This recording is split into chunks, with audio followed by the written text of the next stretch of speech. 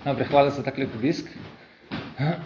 Ko sem pred časom v Ljubljani isto temo govoril, sem slišal na enem domu starejših, na, hod, na stopnicah, slišim dve starejše gospe, so rekli, da bo nekih zeliščih govoril, nekih zeliščih. Mislim, ne, ne, upam, da niso tako oglaševali, da bo o zeliščih govora. Uh, sicer zelišča so tudi absolutno dobra, domača, krasna zadeva, uh, melisa, pol imate meto, nekateri poznate, kamilce, pomirjajo. Uh, ampak bo danes predvsem o enih drugih temah uh, bomo govorili, se pravi na kak način z nekimi zadevami, ki jih sicer ne dobite na recept v apotekah, si pomagati do boljšega zdravja, do zadovoljstva, do miru in še časa. Če boste imeli vmes kaj za dodatke, za komentirati, prosto vprašajte, drugače bi pa na koncu imeli več uh, časa za debato. Prvo, prva točka je vadba je zdravilo. Vadba. Jaz sem ga zdravnika rad poslušam, tudi imamo par njegovih knjig prevedenih, dr. Trsunov. On je zdravnik Ayurvede in zdravnik zahodne medicine. Pravi, da je ključno, da človek tri različne pristope vadbe prakticira. Prvo je to, da če si preveč pasiven, kaj bi takem človeku priporočal, če eden? Ne, neč. Kaj bi mu priporočal za začetek? Ajde, dej, se pravi migi, migi. On pravi celo človek enkrat na teden, 4 do 4 ure hodi, si na vseh tudi, na vseh nivojih telo prepuca. Se pravi, ali dve ure teka, ali pa 4 ure hoditi. Jaz sem danes jutri dve uri, dve uri teko, In vidite, nekdo, ki je ali depresiven, ali ki je potrd, ali ki, je, ki ima šizofrenijo, ali ki ima kakšne psihične bolezni, izredno važno, da človek miga čim več. Predavam po večini šentov, po Sloveniji, pa po ozarah, skoraj na vseh mislim, sem živel. In uh, večina ljudi so izrazito, ki so tam, zelo, zelo taki, so prav pasivni. Zelo dobri po srcu, vidi se vdaleč, ampak veliko, veliko premalj gibanja. Ena kolegica moja, je, ki je uh, očeta zgubila pred leti, in jo je to zelo, zelo prizadelo in je za enih 8-9 let pristala na, na zaprav centru za duševno zdravje. Je začela pa čez čas potem hoditi intenzivno, vsake dva dni, zjutraj, dve, tri ure hoditi. Zraven poslušati predavanje, medtem ki hodila, malo potelovaditi zraven. Uh, zjutraj se vstajati, hrano je spremenila in dan danes gospa praktično normalno funkcionira. Tako da, pozdrav soncu, poznate verjetno, En prijatelj Štajerski je začel delati po zdrav soncu, ni sicer vedel točno, kako to gre in je prve vaje so bile na balkonu. Ne. Takšno je polje, po dveh tednih je, sem mu povedal, da se to drugače počne.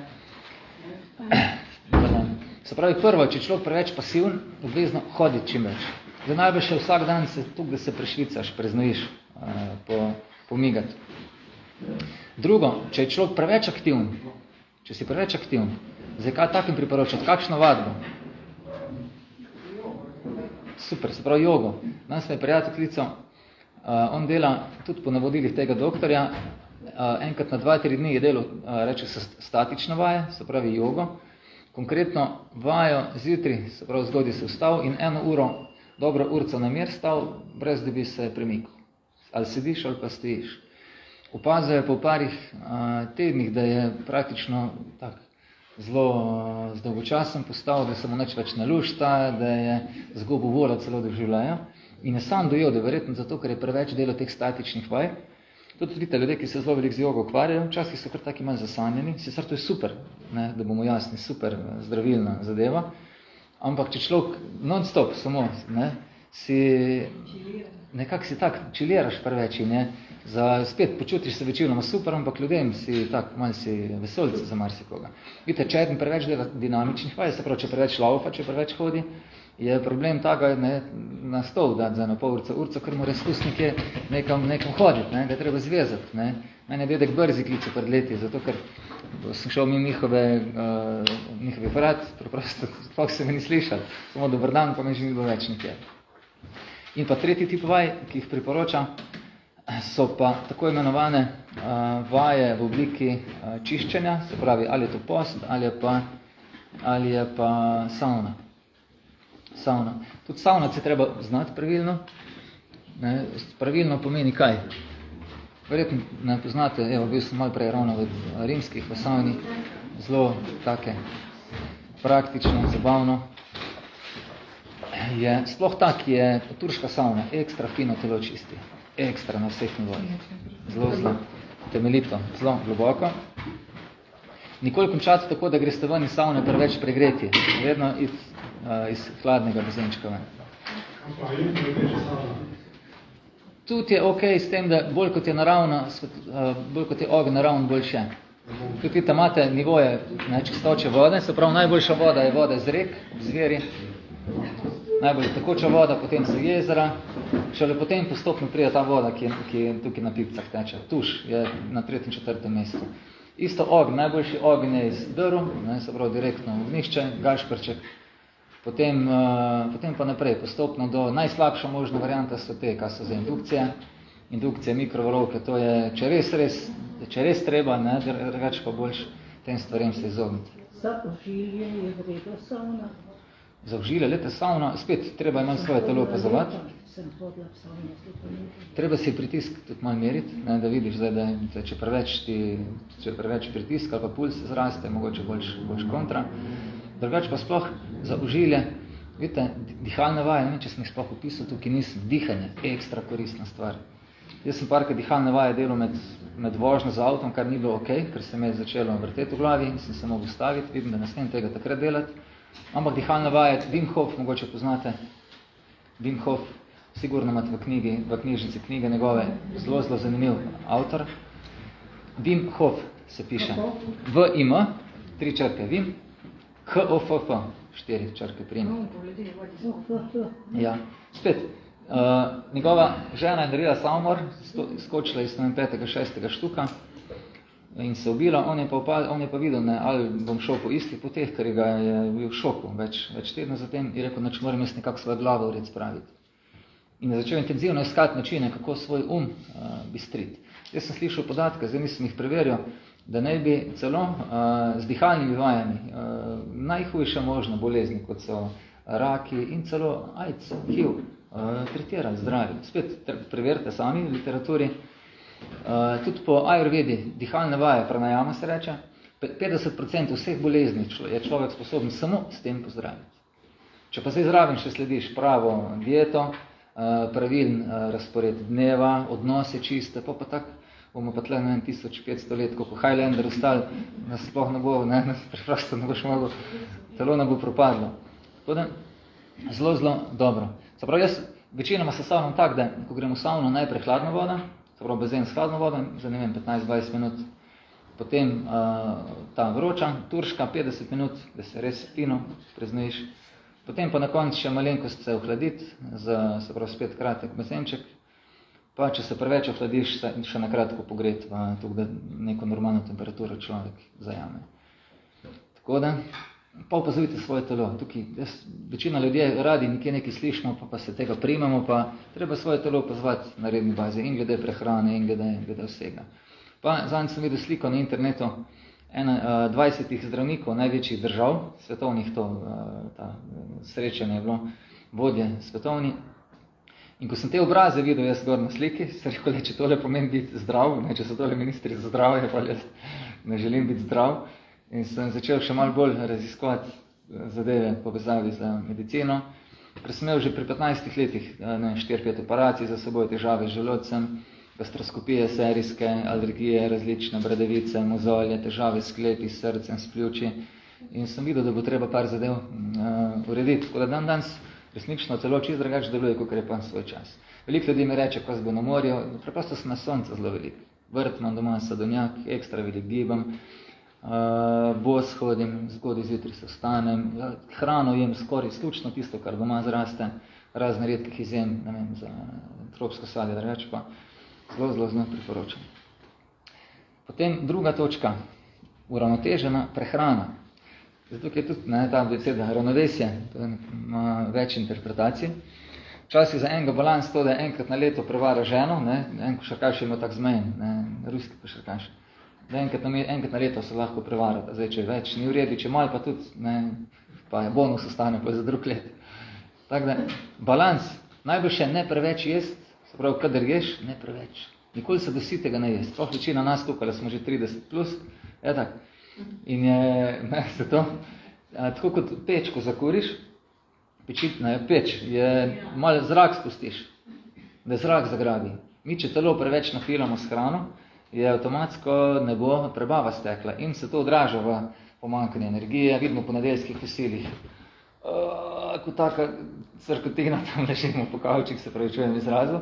To je zato, ker uh, je hrana takšna, ki telo resnično pohabi. Kombinacije hrane so uh, čudne.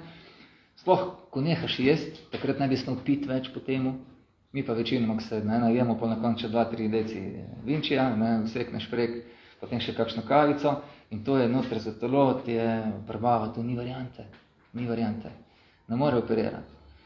Plus te prehrambene skale, kjer imamo v šolah, piramide, jaz to me čudno sicer gledam večinoma, ker ne vem, kdo je to, kdo je to naredil, ampak niso stvari ravno uh, smiselne.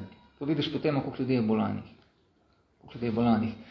Za, mo za moje pojme je uravnotežena prehrana jest ne preveč, ne, da nisi izmatran, ne premalj, da, da, ti, da ti fali, pa zadeve, ki so naravne, ki so čiste, ki so, če se leda, rastlinske, Pa pa tako tak praksa pokaže, kaj je smiselno, pa kaj ni. Ne preveč tu teh vidite, danes štejemo te oglikove hidrate pa beljakovine, tega niso nikoli v preteklosti delali tako.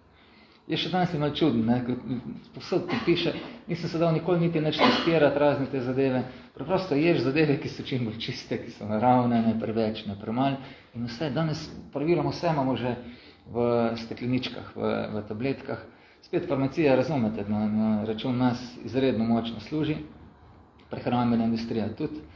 Tako da B12 je včasih, ne, sploh pri vegetarijancih, veganih, jaz sem vegetarijansko 12 let, so včasih, ja, kje dobiš B12? Preprosto ješ hrano iz narave. Sploh tam, kjer je hrana v stiku z, z kravjim blatom, avtomatsko so tam tudi te vitamine notri prisotni.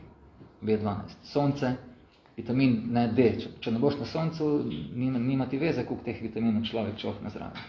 Sonce. Plus doktori, ki rečejo, da je sonce škodljivo, le, ne ga biksa, zdaj, če sem jaz bil res nekje ugrabljen 20 let, pa nisem videl sonca, nekje v Keodru naprej zaprt, ne bom zašel direktno v Portoroš ali po Zrč ali pa na Ibico ob treh popovdne, ampak če je že sonce zjutraj, ne vem, petih, šestih, sedmih, že takrat, ne, majica, brez majice, doma, lepo na vrtu, plus opazujte, Dopodansko sonce daje energijo, popodansko sonce pa jemlje energijo. To lahko vidite, kako se počute različno. Če greš dopoldne na sonce, se prav tak, tak si spočit, tak osvežen. Če greš pa popoldne, je pa drugače na človeka operira. Tako da planet ima na nas ekstra močen vpliv, spoh dame, večino evo, ste dame, ste z luno bolj povezane. Treba to tudi malo te stvari upoštevati, ne, kako luna deluje. Ne.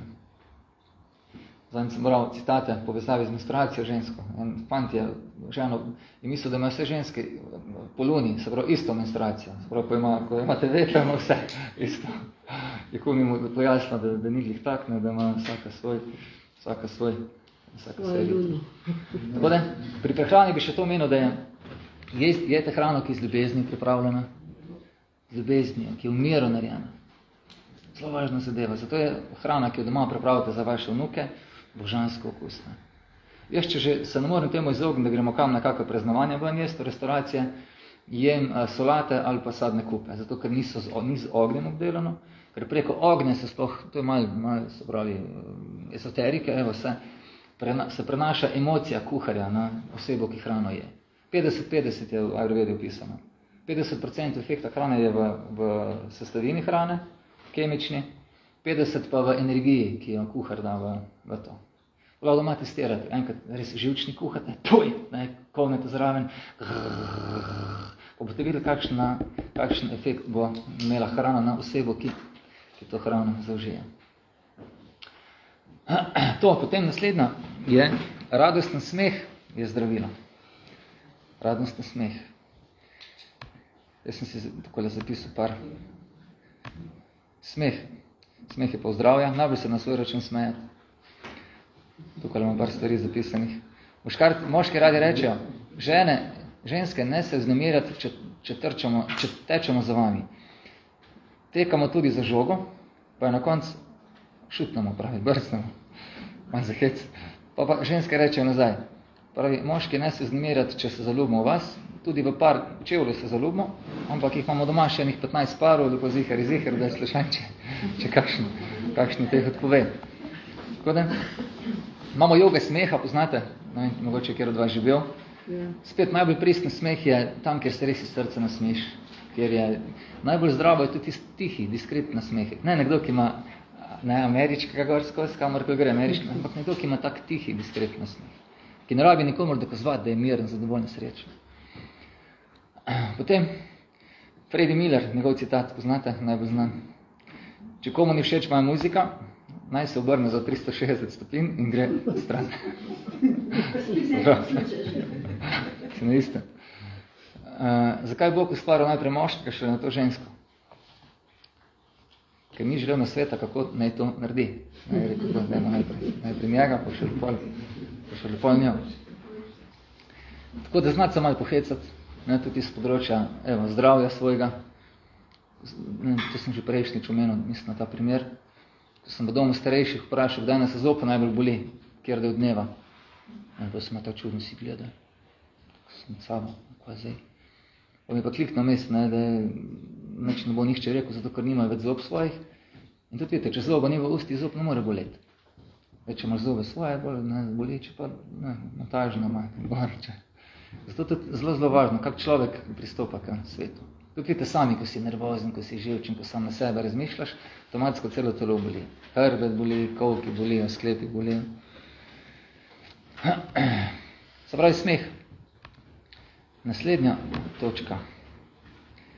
Pozitivna naravnanost je zdravilo. Pozitiva.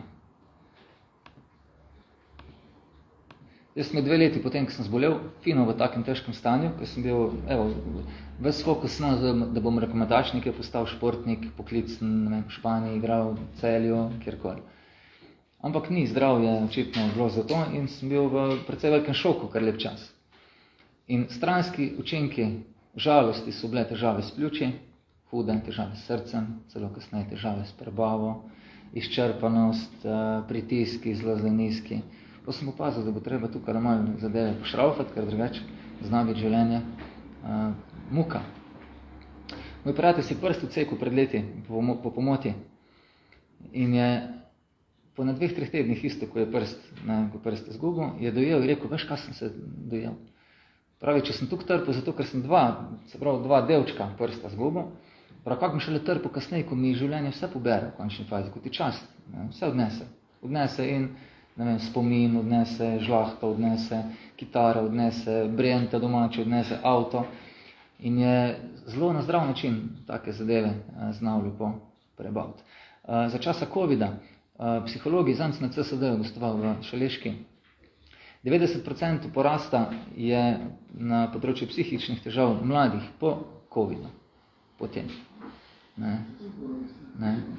Zdaj, kako to obrniti na drug način, da ne bomo ne, pozitivno. Vidite, videli smo, kako smo zelo se čudno upregli v neke družbene sisteme, kjer ljudje nikoli niso tako nenaravno, kot dan živimo živeli. Zapravo 80 ur službe, tam hodiš, ko zjutraj cel puklast v, šol, v službo, pa preješ v 4-5 poldne nazaj, uh, urca dve se z mladino ukvarjaš, šolo pa te stvari, pa, pa, pa spet naprej. To je En pisatelj je zapisal, da nišče ni bolj zaslužen kot tisti, ki misli, da je svoboden. In danes mi vsi smatramo, kak smo, imam svojo službo, sem svobodna, imam svojo, a dejansko vidimo, da smo dejansko ekstra, ekstra upeti v določene zadeve. In tretja revolucija, pa naslednja, kjer bo verjamem, da bo ta, da bo res naročil v naravo, v gozdove, v sadonjake, vrtičke in na tak način operiral, funkcioniral. Vsega dost. Zdaj ne moramo več, ker so medvedje. Medvedje? Glejte, medved tudi pride tam, ko mora pride. Veste, kak je? Kako so se zmenili? Medvedi so. Ne, Evo. sem ga srečala. Že, ja. Asti, leta malo zahec lahko. Pred ene, tremi meseci je medved enega jagra, na enega lovca ga je, pa je bil med, pod komentarji, ga spet to malo zahec, ko prim, je uh, napisala ena gospa, da je eno vzgojno dal enem jagru. Prav, ni ga preveč, samo malo ga je, ne. Tudi lete, živali mora neki biti. Zdaj, če smo pa mi, lete, ne, posod človek, nima več mesta za sebe. Seveda. Kako? Letos ni čebel, da se drugo pot išče, ne? Tudi, zato je, mi smo rasturali planet. Ste videli slike Černobila? Ko 30 let ni nihče tja mogel prijeti v Černobil, ne? Zaradi to ti je naravni park, to, to je res za, za ne izleteti. Ja. Pa pa vidiš le center, ne bom rekel cela, center Maribor ali pa center ne vem, Ljubljane, pa jaz sem čakam, ko grem na kakšno predavanje, sem čakam, da pobrišem, ne grem lepo nazaj v, ali v kako reko se skopati. To zlah zraven dodam, nimam opisano našteto pod 21 reke, to je ekstra zdravilna zadeva. Voda, voda, sveža voda. Vsak dan, je že zjutraj, 3-4, hladno toš. Potem ob nekje 10-11 tuš, pa še nekje ob 5-6 tuš, sploh po zim. Ni se fajn prepozno po zvečer tuširati, zato ker se telo preveč razčuje. Je pa dobro vsak dan, vsaj enkrat, ne, dvakrat boljša, polet celo dva do trikrat.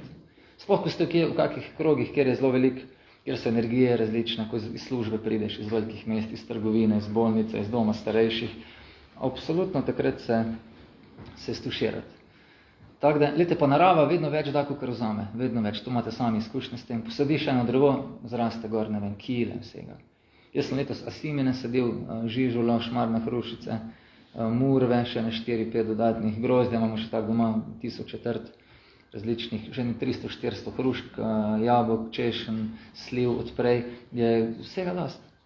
Tu, če kakšna stvrta ne rodi, ja, letos češnje pri nas niso rodile, neč, druge zadeve so pa ringloji, so kaki za potem pozna pokrit rastlinjak, vsega, vsega spodje. Žižele uspevajo pri nas? Jaz sem zdaj šele, šele sedil, ampak je pravi, da, pravi, da lepo zraste. Fejoje sem nasadil, sem jih je treba pozim, jih je treba uh, noter. Kivi tako tak rastejo. Koliko pa vas je pol doma? Koliko? Ja.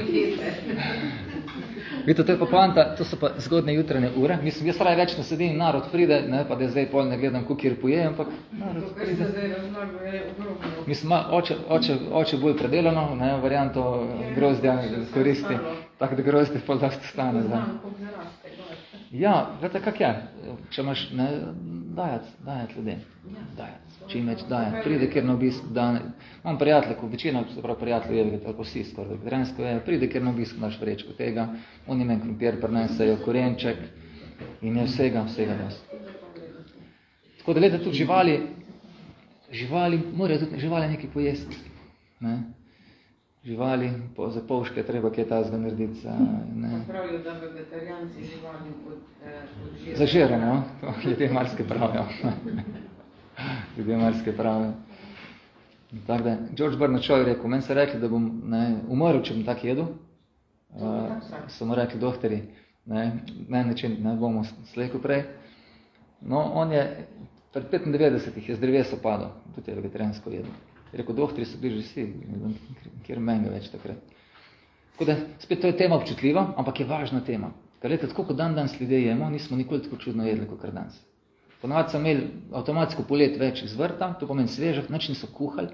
Vidite, če vam je fejst vroče polet, avtomatsko je to znak, da, pre, da ne takrat kuhane hrane jeste, pa pečene, pa kruha, žitarc. To je težko, težka hrana. Tudi zvečer ne žitaric jest. Zelo težka hrana, se ne prebavljajo. Ne prebavlja se sendviče, takrat ne jest. Ampak poleti čim več sveže hrane. Solate, če vam telo prebavlja dobro solate. Solate, sadje, sem preljubenico na žlico, lepo avto. Sploh ne čutim vročine. Če bi pojedel neko, neki kuhanga, neko omako, pa je lahko, ne vem, nima korenčka, pa bi, pa bi tukaj bi mi bi švico dol, zato ker imam, ker telo tako reagira. Po zim avtomatsko jesti več kuhanih stvari, zdravo kmečka pamet. Pa te ne bo zebri. Če ješ po zim presno, ono te bojo slišali sedi, ker ti bojo repotali po, po sklepih, pa po preverjeno so sam to testirali. Potem spanje je zdravilo. Kaj. Spanje. Zelo važno. Kdaj je najboljš spat hoditi? Kdaj? Ko je vzhod, greš spat. To je študentska varianta, ja. Ne. Ja. Po soncu, nekje cirka devet, ja, ob devetih, pol desetih je zlata ura za, za spati. Najbolj, ko se ti telo tudi zmatra, takrat ti spati. Nikakor ne po deseti, pol enajsti uri. To je, tukaj, to ima sploh na obali, gor, Gorica, obala, tam hodijo ob enajstih, pol polnoči, polnoči spati. Sem tam, je tudi, tam jih rešuje, ker je več prane v zraku, več sonca, več pravi morje in uh, jih to pomlajuje drugače. Drugače pa ure do polnoči šteje dvakrat vsaka ura. Dvakrat nas se telo spočije. Če ne moreš iti spat. Pridite na vrt, bomo malo krampali, pa bomo malo gre. Je pa tu treba pravilno zvečer zabremzati to. Zabremzati. To pa pomeni, zato pa je kitarca. Naravno so imeli tudi večere tako narejene, da je konkretno, evo, dnevni razpored, kak naj bi deloval. Zgodne jutranje ure, kdaj naj bi se človek vstal? Soncem. Ne? Soncem najboljše je dve uri pred soncem. Če kjeram to uspe, imate življenje garantirano. Eh, Ta avtor piše v knjigi, tudi vsi menihi različni, v vseh kulturah, se zbujajo kdaj? Ne? Se pravi, dve uri pred soncem. Budisti, Hare Krishna, muslimani, frančiškani, benediktinci, vsi dve uri pred soncem. Cerka. Te pridni ob treh, on je tam manj pridni petih, kasneje, kasneje nihče. Ja, dobro vprašanje. Kaj misle, kaj dela Pedro Peko v štirih zjutrih se zbudi?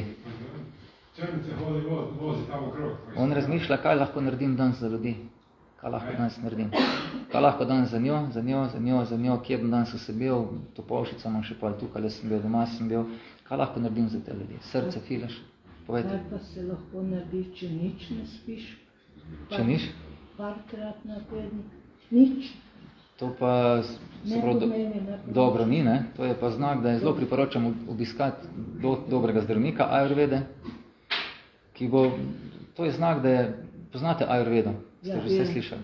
No, to je znak, da je, več, da je praviloma vata, da je se pravi preveč zraka v telesu. To je, to je, če človek preveč potuje, kadar zelo veliko potujemo, avtomatsko zelo težko spim tudi potem. Ker je zelo, se pravi, se energije v luftu spremenijo. Zato gremo savno rad večkrat, da se mi, da se to umiri. Kafo, va- balansira tudi savno to. Ker navadno zdravniki drugo ne ponudijo kot tablete. Eh, tablete. glede, ladan tudi primer, to verjetno ne velja tudi za vas, ampak je primer jaz, če sem res nekoga prizadel, fejst prizadel. Pa če, če sem hkrati zelo taka mila oseba, ali pa če, sem, če nisem žleht po naravi, je, ne bom mogel spati, ker me bo intuicija v srcu, me bo skus me, neko veverca me bo ne grizla in bo imel težave s pancem. Najlažje te zadeve s, z medikamenti za- potlačiti, pa človeku se lahko zmeša na dolgi rok. In to ravno danes dela medicina, vidite zelo pogosto, da ko je nekaj neštima s telesom, probamo simptome prikriti, to verjetno tukaj vsi razumemo, ne rabim sploh o tem govoriti. To res, če imam ne vem, spuščaje hude, ne morem zdaj sam spuščaje premazati, ne zdaj, da bo izginil. To je znak, da nekaj v telesu noter fejst, fejst ne, ne štima. Tako da bi tukaj zelo važno, da se je telo naše balanso. balanso. Ne, predvsem pa, to sem, to sem začel govoriti, zjutraj ne bi človek nekaj za dušo naredil, ali pa za nad dušo, ali pa za Boga, in rečejo. To pomeni, da se takrat pripraviš na dan, da si nafilaš srce, z nekimi naravnimi veri, vidite. Ali je to sprehod, meditacija, je to molitev, je to telovadba, ali je to petje, ali je to mantranje, ali je to branje, karkoli človeku bliz. Ker večina vas imate take službe, da, evo, moja služba je to, da imam zdaj tukaj dve urci predavanja, pa potem še v, topol, v Topolšici. To je luksus, to je neko fešta včasih bila. Ne, in mi ne fali energije. Nekateri izmed vas hodite po službi, kjer imate ljudi, ki so, ki imate, ne vem, lisjake v službi, ki imate ljudi, ki vas probajo tako pa drugač žlehnoba, eh, faušija, pa še kaj in rabiš nekje dobiti energijo, da lahko se s takimi osebami eh, soočaš. Otroke, ne, štir pogonc doma po hiši, veš, nekje rabiš nekaj imeti za, za njega. Da zjutraj to delati. Potem pozne jutranje ure, se pravi tam nekje po šesti uri, uh, je dobro za kakšne citat, citate prebrati, zgodbice prebrati, filozofijo, modrost, kakšen, kakšno stran iz spisu modrosti prebrati, da te to čez dan spremlja. Ali pa se na Facebooku, če nimate, ne, kakve osebe, ki lepe stvari pišejo, da te, ne, jaz sem dobil znanč, na enem centru so mi dali darilca, kjer sem predaval, uh, take kratke misli, zelo lepe, pa vedno so na mestu, vedno so na mestu, kao random. Niti treba biti popoln, da lahko inspiriraš druge. Zdaj pa kuhanca. Se še, kako to je. Ker sem nehal, zdaj sem malo zmanjšal predavanja, ne, kukor da mi hoče življenje povedati, ej, predavi, predavi, ne čaka, da boš popoln, ne, če ne boš dobil, ne. Tudi se da vprašati, kaj mi prvo s tem življenje povedati, kaj mi tleš zdaj življenje, vesolje, narak, kakorkoli tem rečete. Zelo, zelo zdrava zadeva. Sprav, če nekdo teže spi, treba nekaj spremeniti sigurno, poiskati ljudi. Plus dobra zadeva za tiste, ki ste zelo hitri tudi, kar se tiče misli, kjer je koncentracija mogoče malo slabša, uh, z oljem se namazati, ne, pravim oljem. Jaz se s sezamovim oljem namažem, enem bolj paše kokos, enem bolj paše uh, olivno olje. Ni dobro olivno, če ste preveč pregreti, olivno olje še dodatno pregreva uh, človeka. Jaz se zato sezamom, ki ohlaja, ohlaja telo. Pa se postuširam zjutraj. Tako da, telo je stroj, vidite, telo je stroj, vsi imamo ne, različne, zdaj en ima mašino tako, preučiti, kako ta zadeva funkcionira. Potem čez dan, ko so tudi, vidite, energija največ, delati kje v naravi ali po službi, kjer imate kakšne važne sestanke, zvečer pa zelo važen del, pa kako večerja ne bi preživljal.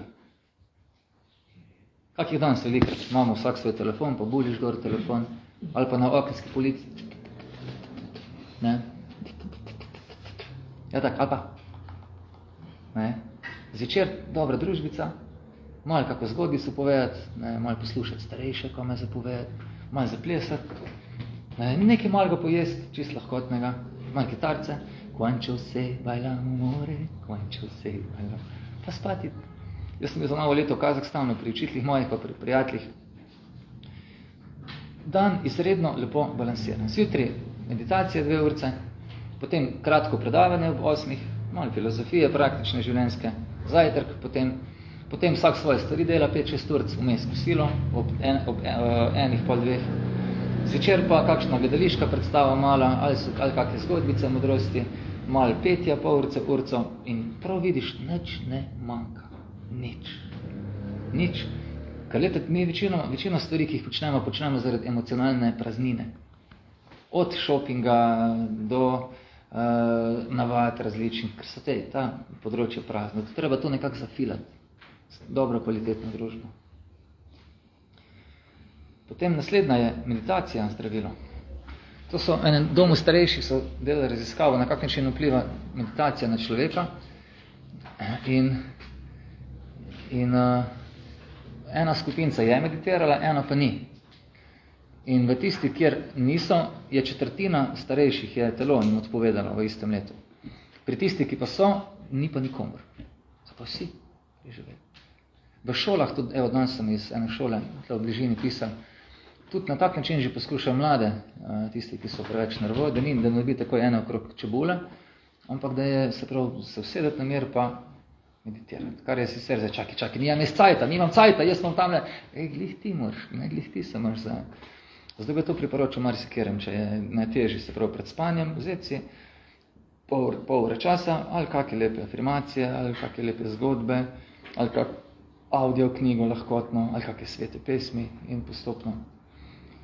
Ne, in pa tudi doma, vidite, kjer spite, to je zelo važno, da je prostor. V tej knjigi to zelo tančno pisano, kako prostor pripravlja v tej knjigi.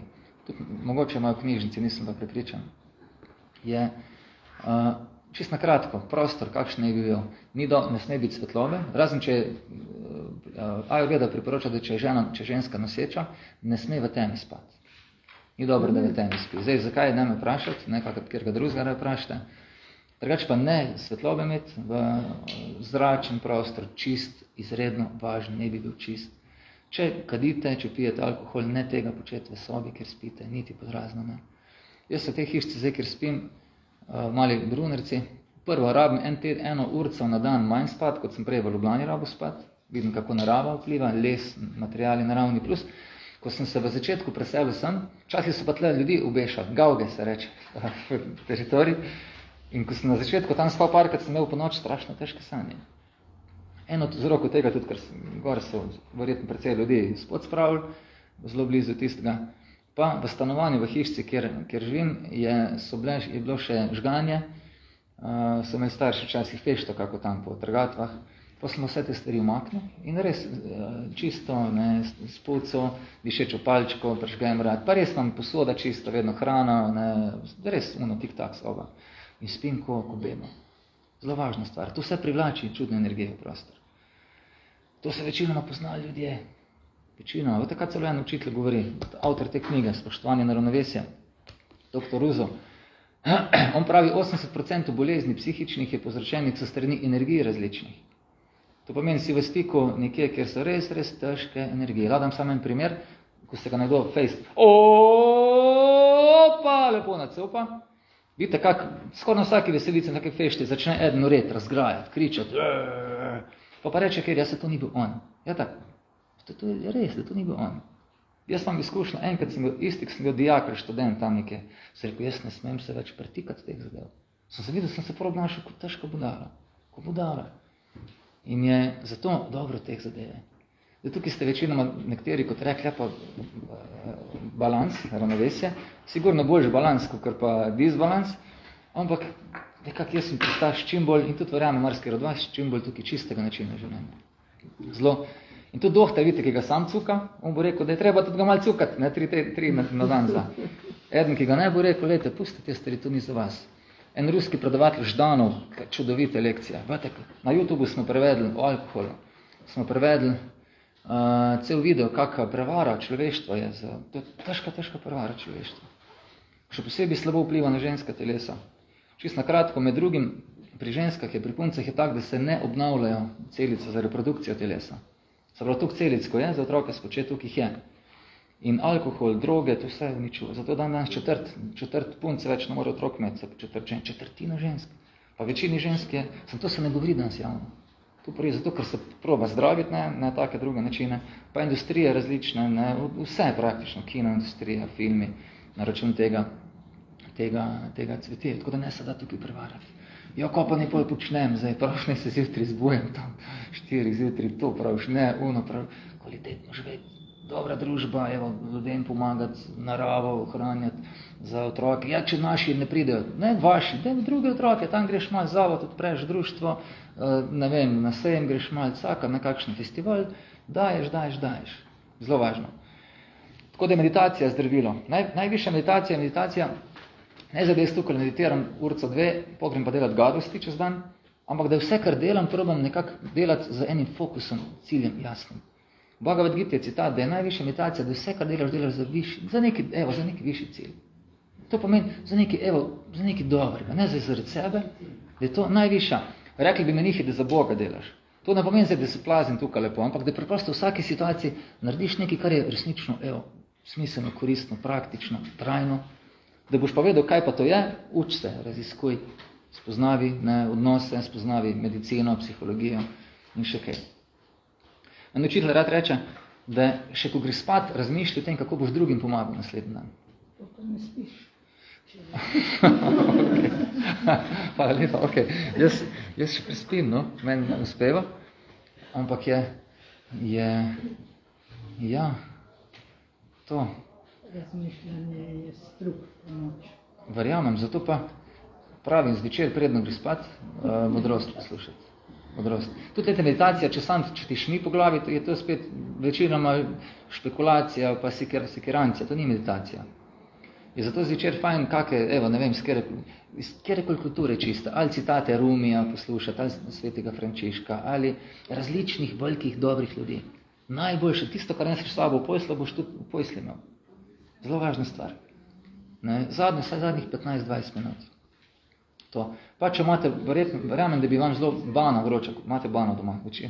Vroča bana, sicer ne prepozno, da se telo preveč ne, ne, nekje od, od sedmih do osmih, pol devetih vroča bana, ob devetih, pol desetih telo sem pripričan, da se spi. Tukaj iskati, kako, kako pomiriti. Tu, če preveč misli, znak, da je preveč, se pravi preveč vate v telesu, preveč zraka. Treba to spustiti. Meni zelo jogurti pa še zvečer, jogurti imajo več te energije maščobe, vsebuje, zato malo umiri misli. Umiri. Vroča voda to umiri olja, to umirijo. Preučite internet, vzamite roke knjige, Ayurveda, do, pa preučite sami svoje dohte, postanite. Kaj tudi ayurvedske zdravniki, marsikjer ima tudi malo, se pravi, so neki finančni interesi pri marsikjerem. Zato najbolj na zihar varianta je spet, iti do njih, ampak še bolj sebe, sploh, če ne toliko zaradi vas, zaradi otrok vaših. Pa tako, kako bojo otroci hvaležni, če boste imeli rešitve za njihove mozole. Jaz, kjerkoli pride, če, če sledi določene, jaz sem pri 15 mozolo, cel obraz rasturan. Roke, kot da so gobove roke. Res ima ona bradavica, če se v prst, kot da je gobava roka. Sem raziskoval malo dan danes, ker če testiraš, praktično mozoli izginejo. Vete, mladi vas bojo občudvali, če ba, vaš babicami. Čist... Ste odpravo bradavice. Bradavice prvo proba so žgati, proba so rezati, nič pomagali. To je tudi malo se pravi psihosomatsko s tem, da, da ti tvoje telo ni všeč, ne, da se ti tvoje telo lastno gabi, so bradavice s tem povezane. Plus drugo za, za svežo hrano, se pravi sadje zelenjavo sveža hrana. To. Pa s tem, da veš, da telesa naša so, ono, ima, ima vse svoje napake. Tukaj nekje raste, ene, za šest se manj štrlijo kocine, tle, lasi vrnetijo zobi, po, ne, po, po stran nametanje noter. Da je to, hvala Bogu, samo telo, da to nismo mi, to je samo telo. knjiga Ekarta Toleja, zelo dobra knjiga, Power of Now, mogoče poznate. Mhm. Power of Now, angliško, kak je slovenski prevod? Zdaj je bral, kjer. Znanja.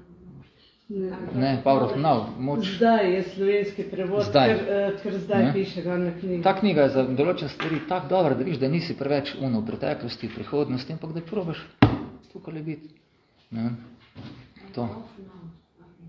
Tako da, to celo življenje se uči. Zato sem hvaležen, da si tukaj na lekciji sred dneva, vabi za lemarske počel druga. To je zelo zdravo, cel življenje se učiti, cel življenje, različne stvari. Potem naslednjo. Ljubezen. Naj živi ljubezen, naj bo pravljica. Znate, ljubezen je dejansko zdravilo. Jaz sem pred kratkim enega kolega na obisku, narejenih ima osem letnikov osnovne šole, drugo leto, če, bo, če bi bilo vodstvo za, meni osebno neverjetna inspiracija.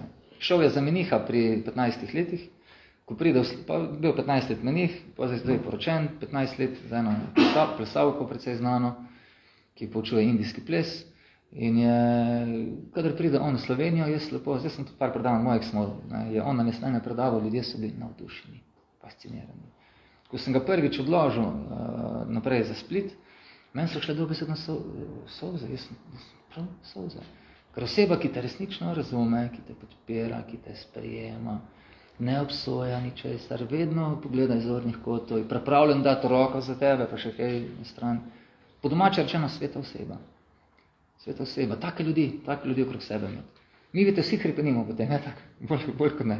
Zato, zato gledamo te romantične zadeve, kjer se praviloma vse lepo izide na televizijah, ne, za urco dve, uno ni problema, lahko se zmontira materijale skupaj. Ampak v življenju smo pa kruto, direktno, vsi, večina nas bolj ali pa manj oportunistični, kaj je tukaj za mene, ne, kaj je tle za mene. In je, kar pa ni naravno, vidite, nam, nam kot srce, kot duša ni, no, duša hoče dajati, pomagati, skrbeti za druge na inteligent način. Zato biti v krogu takih ljudi. Jaz sem v knjigi tudi opisal čustva, odnosi, stres, formule za mir. Enega fanta sem dobil na prvozih, ne če sem to prvič opisoval, ko sem bil tukaj. Je nezavest padel mi na, na tik predno sem ga na prvozih pobral, je bil nezavesti na razgovoru za službo. Po ki je prišel pa v avto, ga nisem pa nečes, videl se da je aktivist ena skupina ljudi, ne, aktivist za pravice istospolnih. Ne, in se je videlo daleč, pa ved, vedel sem, da je v službo kamorkoli je prišel, verjetno so ga tam že tako je malo ne, sodili, pa vrednotili, pa kritizirali, pa blatili, pa ne vem še kaj. In je, ni, ne, je podzavestno, ne, ali pa zavestno, je preprosto v nezavest padel, strahu, zelo taka subtilna oseba, taka uh, senzibilna, ranljiva. No, jaz sem pa v avtu preprosto, evo, super, komarad, prišel si, videl sem, da, ima, da mu je težko, pa smo kot tako prijatelj, ne, ne vem, brat. Smo se malo pohecali, je pelala naprej in je dečko zaspal v avto. In ko se je zbudil, bil cel nadušen, prav, ko si me, ko povej, s čem si me spucal, prijatelj, s čem si me spucal, jaz se tako fajn počutim. Pa nisem takoj dojel, zakaj, zakaj gre. Prav, probat, probat to, zdaj pa kje pa to dobiti? Ja, pa meni doma me ne razumejo, mene tudi ne glede, marsi česa. Pa zanimivo, hodim v hrame, veliko hramov po svetu. Tudi tam ne dobim veliko razumevanja. Zakaj? Zato, ker probam široko gledati. Ne zdaj, da, smo, da sam mi vemo, kdo ima prav, pa sam ta tempel, sam ta cerkev, sam široko, da vsak ima svoje prav. Zdaj pa ne, nivoji so pa različni, čist, ne, nekje je malo bolj čisto, nekje je malo, nekje je malo manj. In naletiš, kamor prideš na, na nerazumevanje praktično, na, na, na, ne vem, na obstojanje, na večina vas pa tudi. Kaka spet ta predavanja, kaka predavanja, ta ti spet možgane perejo tam, a? spet možgane perejo. Tudi tukaj treba znati malo se organizirati. Eto, ena izmed opcij, evo, kak na predavanje prijeti, da vam ne bojo preveč težili. Ne? Ena opcija, ej, a, a doma rečeš možu, ne vem, očetu, bratu, a ej, a bi ti bilo okej, da grem danes na predavanje? Kako predavanje? Veš, doma se včas derem, ko, ko ne, kad se derem razvezati, ne, rada bi boljša mama, boljša žena postala, bi ti bilo okej. Pejte, pejte, povejte, a te kam nesem, ali, ali greš peš, ali te nesem tja, ali, ali, če pa jaz to predavanje prijem domov, aha, danes smo slišali, da ne, ne se dosit ga najest, pa ne zvečer jest, pa zgodaj se vstajati, pa meditirati, pa mantrat, pa za višji cilj delovati. Če bodo to doma nekomu govorili, ko je glih kar prišel strgatve, Brento nosil, bo, bo, bo, bo, bo, bo rekel, čakaj malo, kje si pa ti bila? Ne, kje si pa ti bila tam? Ne? Je. Zdaj, če so spet doma, res, če je doma je žlehnova, tam preprosto en mogoče krut citat, prav, nikoli samo mira v družini postaviti na prvo mesto pred resnično osebnim ali pa duhovnim dozorevanjem. To ne, ampak lepo dve zadeve skupaj povezati. To se da, verjamem, lepo povezati. Ne? Jaz, če bi zmeril sam tisto, kar so tu domači hoteli, da počnem delo, ne bi bilo nikoli neč fejs drugač. Pa pa je pa vmes malo tak, malo. Ampak čas pa zmeri, če prav deluješ, se zmeri stvari lepo poštimajo. Tako da, ja, ljubezen, tisto vidite zjutraj delati. To. Ker če pa jaz pridem med ljudi, ne, tle cel, ne, ko me ne podpirate, ko me tako čudno gledate, ko je zdaj to, ko je zdaj, zna biti pa problem. Če pa probaš to filati, ne vem, z gibanjem, s hobi, z muziko, s sproščanjem, z dobrimi filmi. V knjigah so, lahko vam pošljem, če želite, ker se eni sem že poslal tisti, ki ste se prejšnjič opisali. Mm. Cirka 60-70 filmov, res takih filmov, ki ti, ne, ono, ne, sploh v kakej situaciji, ko, ne vem, je, rabiš malo nekaj za emocije, prebe, pogledaš kakšen dober film, citat, zgodbo in je, ne, in je super. To. Potem deveta, biti ljubljen, ne, zdravilo. To je dosti podobno kot prejšnja. Kjer je bila pa osma? Prejšnja bila, se pravi, pol je osma zdaj ta. Imamo ljubezen. Pol je zdaj ta. Se pravi, biti ljubljen. Tudi čuti, da te manjelo resnično rad. Vsak od nas to rabi. Sploh otroci, edina potreba otroka je, da čuti, da je všeč staršem. Da je všeč staršem. Takšen kot je. Danes nimajo vsi te sreče, zelo, zelo redki otroci na te srečo. Tudi marsikaj od nas ali pod vas ni tega imel. Je, in je zato dobro tukaj prijeti med ljudi, ki te ne, ne bojo sodili, vrednotili, ampak te bojo imeli resnično radi. Brez da karkoli daš. Jaz, ko sem začel pred leti enem paru prihajati, učiti se, malo psihologijo, filozofijo, je bilo jasno, se kome imate tukaj rada. Prvič me vidita, nič mi ne računa, tako pridem tja, nič. Dobil sem pred mene ogromno solato, domača solata, ono, semenke zdrobljene, posušen paradajz, tak dober, da je fertik. Jaz sem predvsem zaradi tega pa hodil takrat. No, lepo priti, lepo, kuk, kuk sem dolžen, neč, neč, lepo priti, lepo priti, čekaj, priti, čekaj. Pa sem se, no, pa kuk je to možno, tukaj dva, neč v žlaht nismo, vsaj da bi jaz vedel, ne, pa mi to, kar hoče tako od mene, pa, in sem prihajal, neč, nikoli, ja, leč, ne, le, če hočeš, ker ni nič treba dati, če, če, če, če nič ni treba dati, pridi. In zdravi človeka. Ko sem bil v stiku s takimi osebami, sem začel govoriti normalno. Prej, pred leti nisem mogel, da bi mi rekel tukaj zdaj, ne, ko sem na kajuha hodil pred ne, 20 leti, ni šans pred tablo. Že ko sem me, iz klopi, ko so me kaj vprašali, pri se spomnim pri psihologiji, evo, se, sem spomnil, se začne tako, ne, tako je nek strah. Sem začel jecati. Drugač pa dobra družba, dobra družba. Vsak od nas to rabi. Čutiti, da te moji ljudje resnično, resnično radi. Enega kolega mojega so vprašali, zakaj Zakaj imaš tukaj živali doma? Ne? Ti bi mogel druge stvari delati. Živali so ne način umazanijo, prenaša, kar je ne način sicer res. Ne? Če imaš ono, mačka, vete, kak je, pa kužek. Ampak ogromno živali je rešili veliko ljudi. Ogromno živali. Ker ima občutek ljudje, da skrbijo za nekoga. Ne? Plus jutri treba se vstati, pa ga pelati. Ne? Živali ti dajo marsikaj. Dobro, mislim sicer temu ljubezen. Lahko bi temu to tako rekli. Ampak ne vem, če ne bi ti hranil doma, one mačke, pa vsako imaš res ran. Ne? bi ti spes verjetno, ne, ali pa mačka bi hitro kam skliznila. Mačka, ja, pes, pa ne. Pa, sicer lep film. Vesel sem, da, da nekako gledate na tak način. Poznate film Hachiko? Kako nevredna zgodba. Ne, 30 let se je vral, ali 10 let se je vral. Zelo, se pravi celo življenje praktično, do smrti svoje. Se je pes vračal po svojega lasnika na, na, na železniško postaje. Resnična zgodba. Tako da, To sem pa začel omenjati, zato ker en gospod je rekel, da zato ima zdaj doma živali, ker je rekel, pa kadarkoli pride med vas, me tako čudno gledate, pa tako prav čutne energije, pa tako me blatite, pa kritizirate, prav doma žival, žival pa neč. Zvedno te vesela. Zmerite vesela. ne, ko priješ domov žena, kjer daj se vam pride, kjer si bil spet? Ne, pa spa. Mačka tudi nima veze, kaj narediš, ne, tudi če ne, pride zraven, ne, ne, zraven stisne, hrček, ne, vrti tam. Tako da, zato ni čudne ljudje, gremo v take odnose, če, če smo pa šokirani potem, kaj smo med ljudmi doživeli. Jaz sicer pri živalih to, da je a, zahtevnost ali pa zahtevnost, kvaliteta odnosov je malenkost manj zahtevna. Se pravi, vidite, pred ljudeh se učiš potrpežljivosti, razumevanja, empatije, spretnosti, kak nekomu nekaj predati, povedati. Pri živalih je pa tam so stvari pa zelo, zelo preproste. Tam je pa ja, jest, pit, uh, malo se počohati, pa, kar je pa spet boljš, ko pa da teden po glavi skače non stop. Tako da, Biti ljubljen, zato imeti vsaj eno osebo tako, da te resnično podpira, razume. To so bili včasih pastori, kakvi so bili včasih učitelji. Psihologi ti sicer poskušajo razumeti, jaz ne vem, koliko je tam, koliko je tudi v raznih, spet so različne ordinacije, ne, nekje te čutiš, da te ima res radi, nekje bolj čuti, da se te sam znebi, da, da greš ven. Tako da je kombinacija, da je oseba in psiholog, da se pravi, da zna, pozna življenje in da je hkrati, da te ima resnično rad. Take osebe poiskati, zdravilno. Klinični psihologi, ne? Pa ne vem, kako temu rečeš, no, v glavnem, jaz sem navijač tega, da ima človek in srce neverjetno veliko in se pravi, razum oster. To pomeni, da je psiholog, filozof. Pa da ima hkrati, to ne bi vsak od nas, praviloma z leti postajal. Mi pa z leti postajamo grinte včasih, ne, da ga drjamo, ne. Če, bi, vidite, če pa postaješ zakladnica idej, izkušenj, dobrote, da je človek še zdrav zraven pri teh letih, kot, pa, pa tak, pa to, to je, ker vidite, na različne ustanove, se, težko se zanašati, dobiš, ne vem, vprašanje, koliko je tam res uskrba človeka kvalitetno. Naslednja, hvaležnost je zdravilo. Hvaležnost. Evo, če si vedno hvaležen za vse, kar dobiš, depresivn, težko biti. Jaz sem to pri sebi pozval, daj, ko te imam tako slabo voljo, daj biti hvaležen. Zdaj pa ni biti problem hvaležen, aha, tam sem dobil skuterja, dobil sem bicikl. Zanimivo, ko sem dobil bicikl pri 13 letih, je bila znamka Atala bicikla. In kmalo potem sem fejs bolel.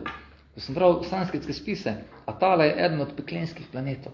Ne, če ste kdaj to raziskovali, se ne, Atala. Ne, Atala. Točno, točno takrat, ko sem dobil tako lok, ker da mi že povedal, založ pa malo trpo prijatelj na leto dve. Tako da, hvaležnost, biti hvaležen za vse, kar si dobil dobre, za bolezen, super, fino, pa se lahko tukaj naučimo. Zdaj, za diplomo ni biti, ali pa za kolega ima mesečno rento, to so včasih imeli, ne, že tako mu gre zelo fajn, ide mi v životu, ide mi, pa da bo še to mesečno, kot čudovito familijo ima, in tam ni problem biti hvaležen za take stvari. Biti hvaležen za prevaro. Kak biti hvaležen za prevaro? Za COVID. Kak biti za COVID hvaležen? Imate kakve ideje? Ja, da smo malo po sebi imeli več zlasti. Še cajte za sebe. Vidiš, kak, si se, kak smo upeti v sistem, kak smo nemirni, kak ne zdržimo sami sabo. Narava je bila čudovita. Je. Narava je bila. Prvi dan, ko se je COVID končal, ko sem šel, čist, kad sem šel v Ljubljani v Čestivoli, se točno vedeli, da so bili, ljudje so bili tukaj. Ono, restoran, park, prej pa vse čisto, nikjer nobenega. Kuhali so več. Kuhali so si sami ljudje hrano, pogovarjati so se več učili. Poslušati. Več družin sem videla skupaj na sprehodih. družinski odnosi. Glede, za vsako stvar si lahko hvaležni, če tako pogledaš. En kolega rad reče, he who is not grateful, he is a great fool. Se pravi, kdor ni hvaležen, angliško je velik neumnež. Hvaležen. Ampak naš um se hitro, ne, tist, če se nimaš. Se pravi, ko nimaš službe, ne, jo, pa kak zelo ni službe, ne, kak bi zelo fajn bila služba. On, ko ima službo, ja, ko bi zelo bilo fajn malo Doma. malo doma biti. To je znak, se pravi, ni hvaležnosti dosti. To so pa lasnosti, kjer se sploh v prvih letih življenja krepijo. To nekje 8. 9. leta. Zdaj, tudi se da pol to zavestno trenirati. Tako da trenirati to. Narediti seznam stvari, evo, 10-15 stvari, za kjer si hvaležen. Seznam.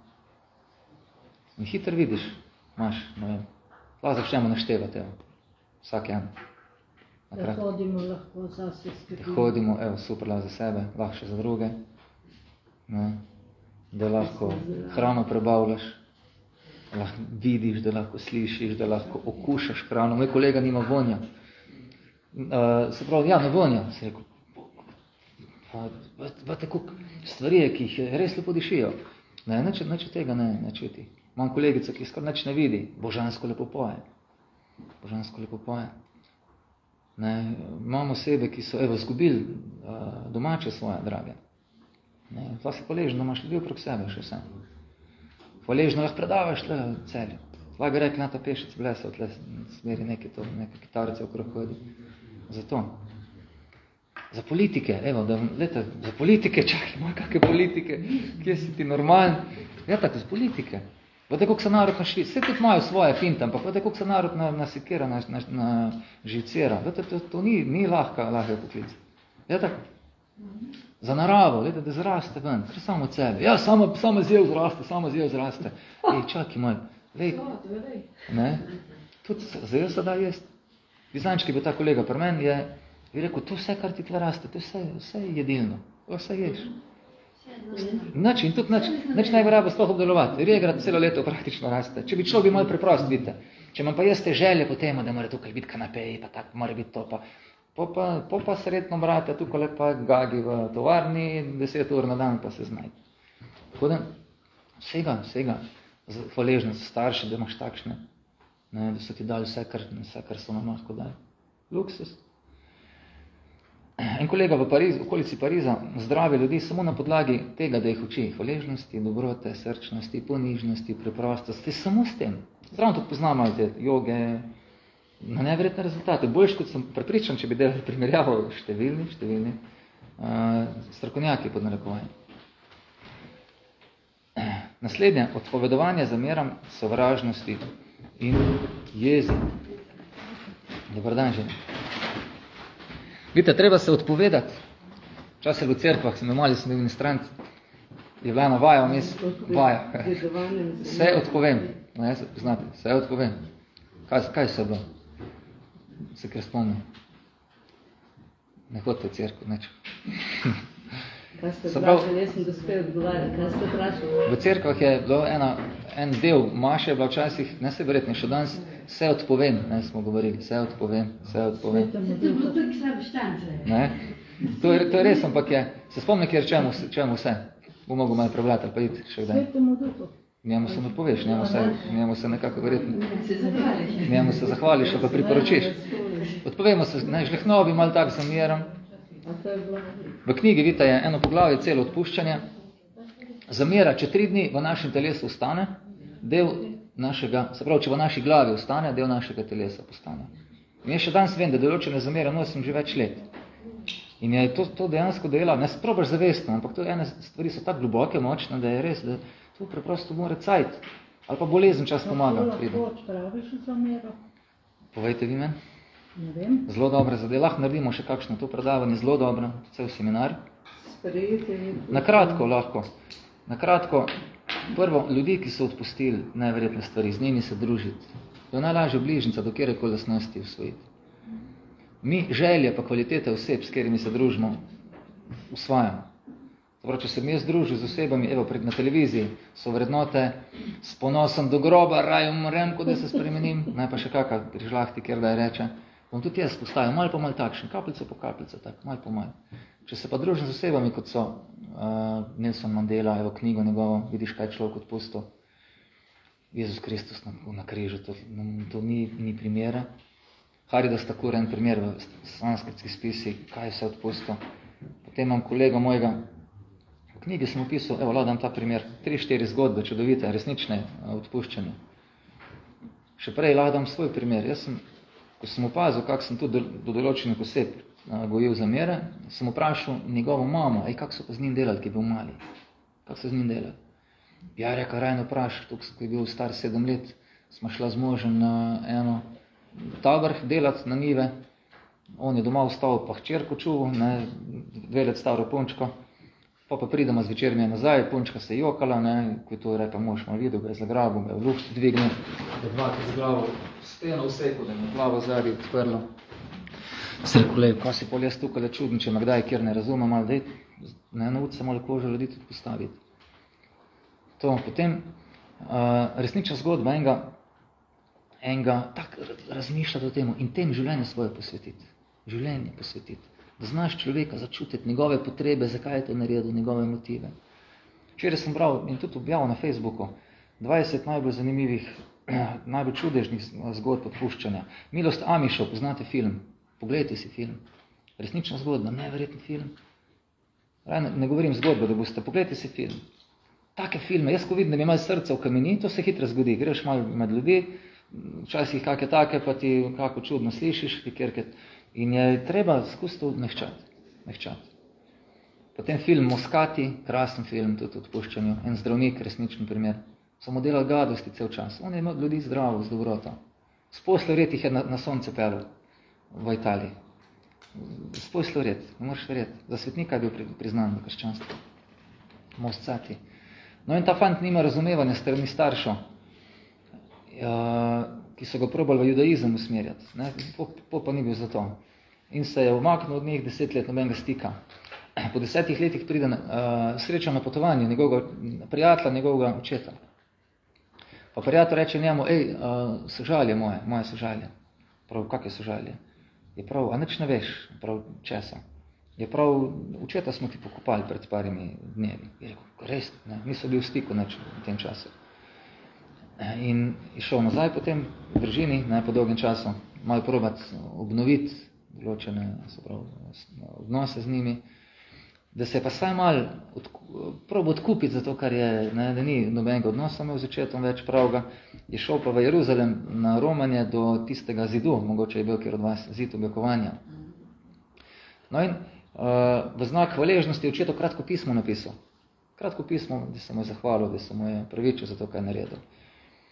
In je uh, to pismo malo tako zvil, se pravi v rolico, pa je probo nekam noter v zid, ne, tako položiti, tako malo luknico.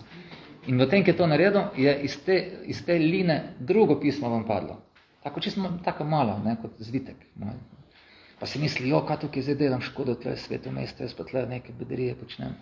Je pa iz firbca malo tist listek, ki je dol padel, vzel roke, pa ga ne, odprl. Fante je bil ime Joey, ne, Jože v naše. In na listku piše gor, dragi Joey, oprosti, ker te nisem razumel, ker sem te silil v določene družinske stvari, pa pismo njegovega očeta bilo. Zdaj pa kakaj šansa, da ta zid ni veliki, ne vem, meter krat meter, ampak to je zid, tudi je, ono, orang, orang, ne, pršolom ga bi rekli, majstri. In vidite, ker je on resnično svoj spit položil, ker je pusto. Je tudi dubo, čeprav je oče že ta svet zapusto, je dubo strani življenja, narava, kakorkoli tem rečete, je dubo pomežik. Dubo pomežik. V sanskritu življenju, naravi rečejo tudi vse, da je vse privlačno. Ker ko začneš malo odnos z njo gojiti, z nekimi, nekak s tem, kar se dogaja okrog tebe, da si deležen čudežno. Če si pripravljen malo tudi iz te, ne, sam kuča posel, ne, pa, ne, to. Tako da, pa leto v končni fazi vse, kar se nam zgodi v življenju, na, beseda na ključe bi jaz črtal iz uh, slovarju. To nima tam kje delati. To človeka samo mede in ga lahko drži v modusu žrtve celo življenje. Na ključi ni na ključi. Zdaj to pa samo na nas, da probamo to raziskati. Kako najlažje v dobri družbi? Dobri družbi. Dobra družba, pogovor, pa iskrena želja, da malo ne te zanima. Jaz sem si parkrat tudi pomagal z vodo na meditacijo, poslušal sem enega ruskega psihologa, ki ima res tako prijeten glas, dobro srce, pa zelo spretno pelje v to, da se znaš v kožo osebe postaviti, kjer si imel res težko izkušnjo. In dvakrat, ko sem to naredil obakrat, res, pa nisem nekdo, ki bi se zdaj kar drl, kar joko, ampak obakrat, izrazito močna reakcija. Čutiš se, ono, da si 50 kg lažji, pa že takih nima pa velik, zelo, zelo dobro, koristno. In vidite, če eden to v celi družini dela, danes tega skoro nihče ne dela, pa se, pa se tam ripenčimo vsako v svoji sobi, ne, kujam, ne, vsak se trma v svoji sobi. Otroci svoje, tam žena se tam, ne, pegizem, ne, tam gleda, on tam pred televizijo, ne, svoje misli, ker ni doma niti ene osebe, ki bi uh, bila pripravljena mal tvegati, v obliki tega, da je proba srca mehčati. Tvegati v obliki tega, da nerazumevanje včasih tvega, pa nehvaležnost ena oseba, ki to počne, to imaš cel življenje, ki delati, cel življenje. In ko to doma narediš, avtomatsko to pomeni, da si tri četrti spitu položil v življenje. To se bo to druge odražalo. Ko je k vam hodil na obiske drugi, ej, kaj bi tukaj, kaj tukaj svetuje to, gospa, kak ne tukaj, tam sem taki, bo k vam hodil, ne, pa, tak je, tak je celo večnost bilo. Danes pa, ne, smo pa penzije niso svoboda prava. To sami veste tisti, ki ste. Ne? Je dobro med penzijo. Raj jo manjko, pa da nimam. Ampak prava svoboda, prava varnost je uh, znanje, dobrota, pa nekak modrost življenjska. Največja svoboda. To, reč po knjigi je nadaljše opisano. Nadaljše. Tudi film je povzaj s tem. Naslednja, savno smo že omenili prej, ne, savna zdravila. Kadar ne moreš iti v savno, jaz grem sam na, na vrt, na dvorišče, imam ono, sonček lepo in ono, savna. Na nivo. Še kaj, ali pa na nivo, ne, savna. To. Potem naslednja je, zdravilo je branje zanimivih knjig in gledanje čudovitih, duhovitih filmov. krasni filmi, naprimer Jim Carrey, poznate njegove filme. Ne? Yes Man, krasen film, vidite. Poznate, ste vsi gledali, niste? Yes Man, od Jim Carrey film, dober dan. Ne? Bil je tako depresivn, ne, to pa na en način sreča zgodbo, da, da ne, vse, kar pridemo, ne reče ja v življenju, ne vse, ja, ja, ja. Ne, boljš, ko pa, se pravi, boljš, ko se ne, je boljš se ja. Pa pa tudi časom je popazil, da je čisto vse, pa tudi ne moreš reči ja, ne, da je pa treba vidite skozi balans, balansi. Potem krasen film, v enem filmu je sam sebi z avto vrgo, če ste gledali ta film, tam, je imel šizofrenijo, igral z eno, eno simpatično, mislim, eno, spa igrala z njim. Jaz zelo rad gledam film Shawshank Redemption, mogoče poznate, kazninica od rešitve, kak je en gospod toleriral in žalitve in obsodbo po krivem, kak je ostal zbran. To sploh, evo, jaz, ko me neki določena stvar, ko me neki uh, zadane v življenju, evo, ali so to kakšne, ali občute krivice, ali probam najdeti, najdeti ljudi, ki so skozi podobne stvari, ali literatura, ali film in preko tega je tudi lažiti, kakve zadeve pa prebaviti. Po meni je izredno sobojoč. Meni je res... Meni je... Malo ti je težko, ko vidiš, kaj so z njim delali, ampak je... Ne. Tako da je... Dame pa sploh zelo globoko doživljate vse. Sploh dame bote še posebej pozorni pri tem, kak uh, se počute, kak živite, ker velike globlje in ja, jezo in žalost in krivdo in vse to se vas še veliko bolj dotakne. Velika večina vas. Pa jaz sem sam, sem dosti čustvena oseba, ampak da bi to bilo pa še krat devet, to sem pa prejšnjič govoril na teme ženske moške, tudi v knjigi so primeri upisani, to pa ne veš, kam bi se, kam bi se fliknil, kot, kot res kaj, kaj zagrabi. Zato važno, petje, imamo kasneje točke upisane, petje, ples, zelo važno, dobra družba, izražanje, zelo važno, umetnost. Tako da je branje zanimivih knjig. Ampak zanimiva knjiga ne pomeni, oh, Romeo, Romeo, pa pa tik zatem pa Janes, Janes, ne voda puša, ampak knjige, ki te, ne, da, da ne bo zdaj Janes v, v luči tega Roma izpadel težki hapec, težki haudre, ampak da boš ti še bolj hvaležen za tvojega Janeza, ki ga imaš doma. Čeprav mogoče miglih, tako ko si misli, da bo. To, zato nam vidite, naredijo veliko škode filmi sodobni. Veliko škode, zato ker primerjaš, ma, hočeš nočeš primerjaš tam, kar vidiš tam. Za.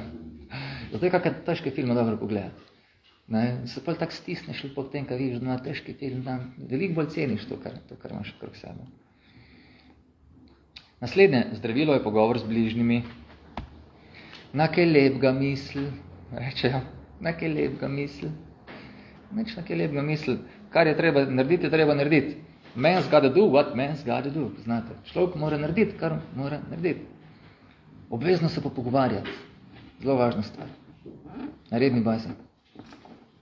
Ne, tiha maša, to ni, ni bilo še prav dobro. Čas je treba mogoče za kako pol urca, urca dan največ malo dati človeka na stran.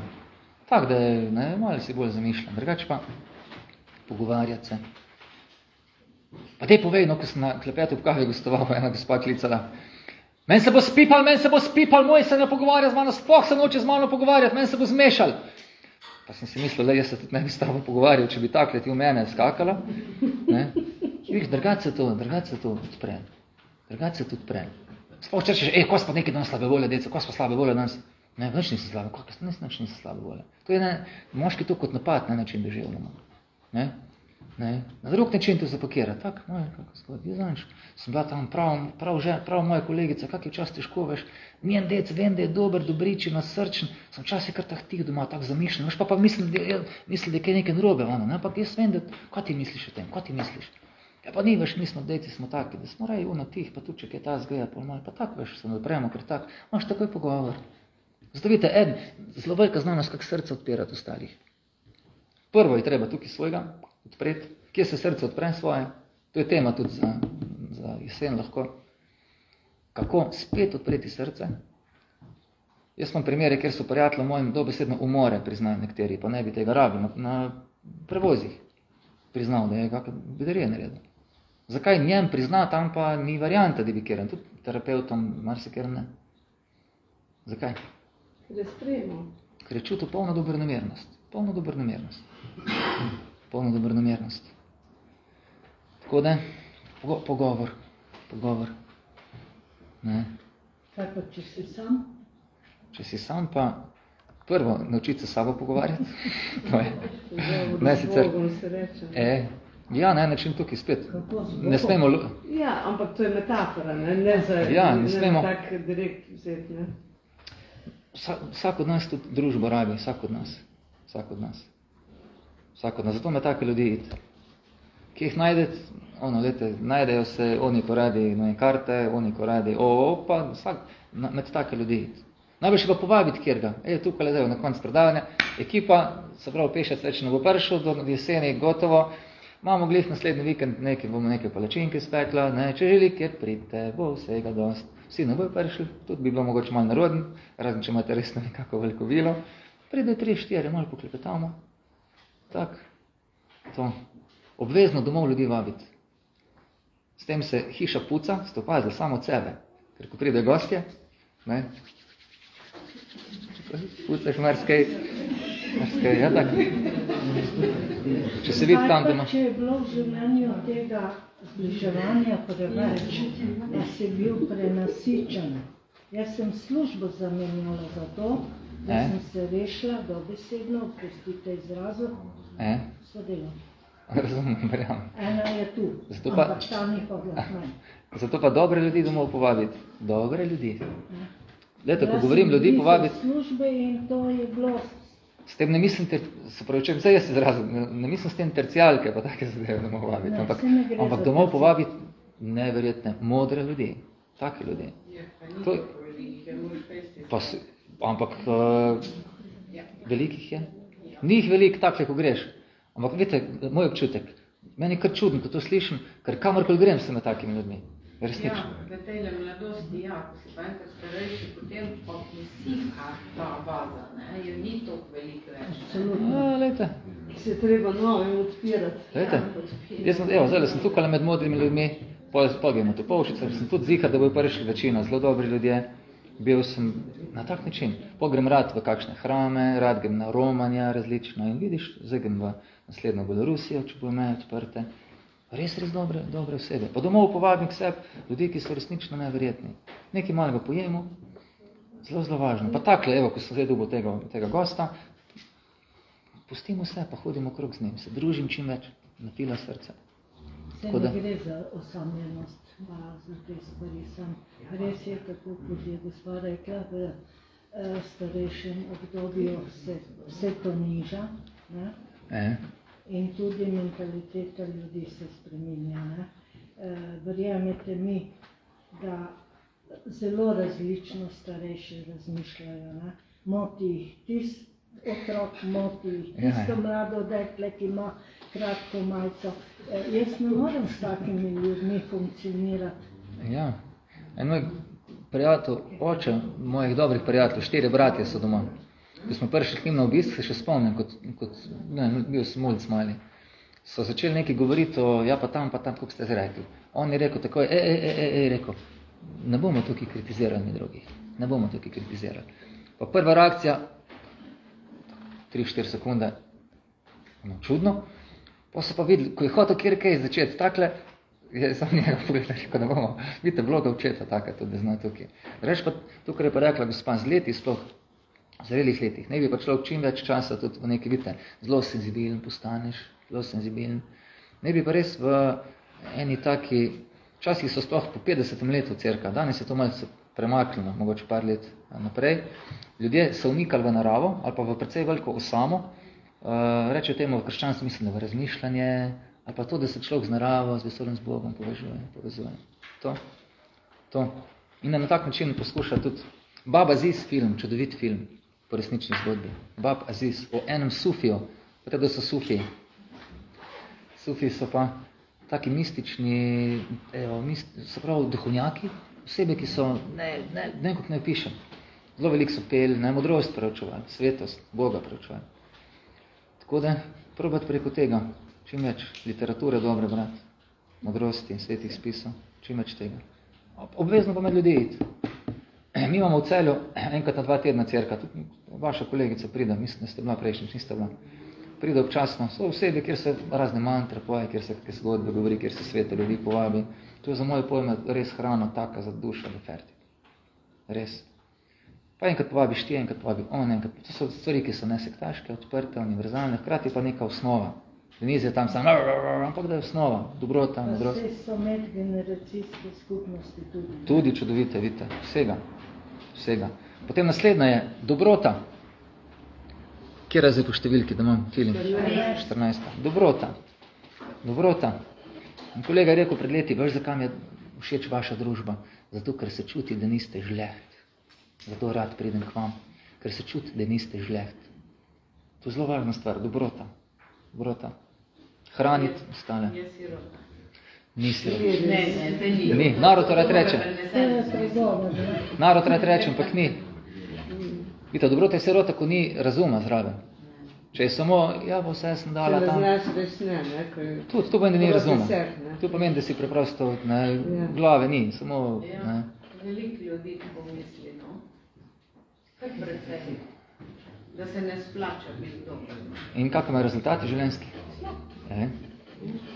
Tako da, jaz prvo, kar je probam se kot čebelca od vseh učiti, drugače pa osebo probaš začutiti, da vidiš malo je miren, zadovoljen, pa pa če čutiš, da je takšen, učiš. Drugače pa, to sem dal pri primer teh doktorjev, če vidim, da so celi bledi, pa utečeni, ne vem, če jaz od njega se, njega se učil, kako zdrav biti. Dobrota se vrača vedno na nek način, če se sam dobro pozivaš tudi Vedno. na Kar se ješ, slične to ljudi. žanješ, ne? Absolutno, to se tako vsi učijo. Kar se ješ, to Ampak eni žanje. so na drugem koncu, pa tudi kar se je žanje, jaz sem se čisto zadovoljni, recimo iluminati, ne? Oni pa bojo leto vsak, bo tudi prša trgati za, ne? Bo, bo, bo, bo. Če ne prej 50 stolet, zato pa tukaj, vidite, tukaj veliko ljudi, ko se smrt res bliža, takrat, takrat se močno poslabša v zelo kratkem času. V zelo kratkem času. Jaz, ko vidim primere oseb, od katerih sem se učil, kako so ta svet zapustili, dobesedno z nasmehom, vidiš, da je prav nas, nasmejan. Od kolega mojega v Brežicah, mama je za tri, reka, čez tri dni bom pa šla, bom pa ta svet zapustila. Čez tri dni lepo mirno zaspala šla.